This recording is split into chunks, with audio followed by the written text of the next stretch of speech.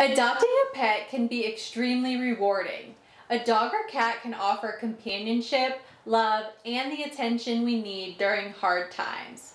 Adopting an animal also helps save animals' life. It's really a win-win situation. Keep watching to see the many ways that the Charlottesville SPCA helps to save lives of animals in our community.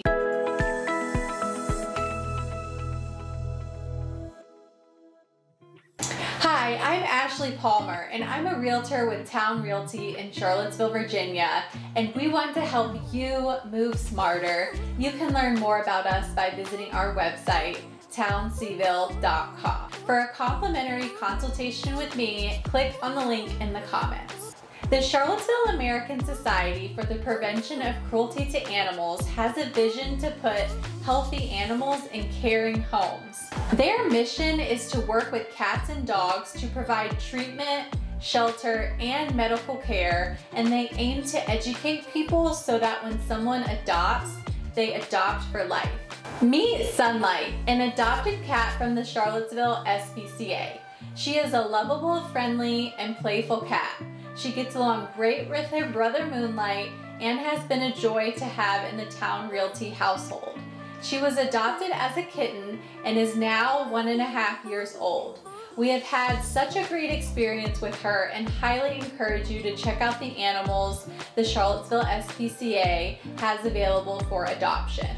Aside from assisting with the rehoming of orphan animals, the Charlottesville SPCA offers many services including pet therapy, camp, pet cremation, licensing, spay, and neutering.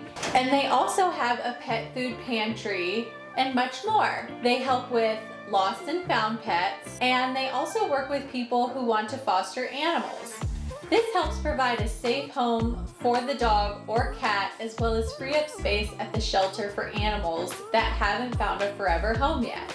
If you love pets and want to provide support, there is also the option of volunteering at the Charlottesville SPCA. They have also created several adoption options, including Seniors for Seniors Adoption, free adoptions for veterans, and working cats where less sociable cats can be adopted to work as plant nursery workers, warehouses, farms, and breweries.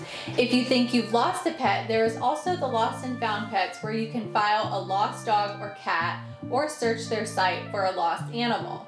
The Charlottesville SPCA also hosts events throughout the year to encourage the community to research the many opportunities at the shelter and donate.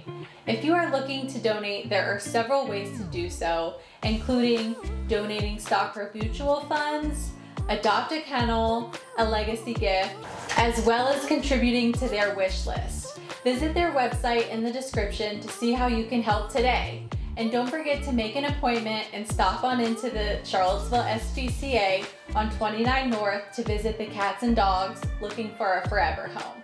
Hope you enjoyed this video about the Charlottesville SPCA. I make new videos every week, so be sure to subscribe to my channel. If you like this video, be sure to give it a thumbs up. If you have any suggestions, drop it in the comments and I'll add it to my next video. Thanks for watching. Bye for now.